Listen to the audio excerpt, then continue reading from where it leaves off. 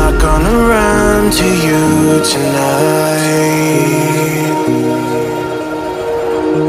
I'm just gonna make my way to the city lights.